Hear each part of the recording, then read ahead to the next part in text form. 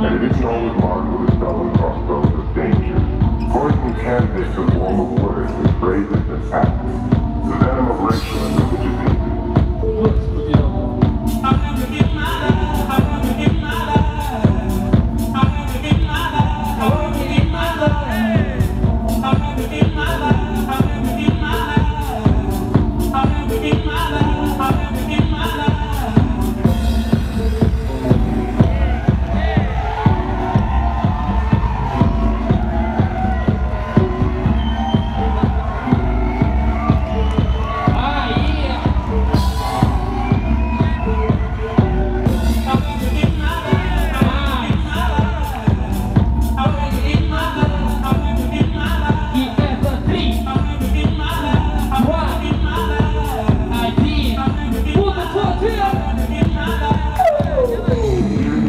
We have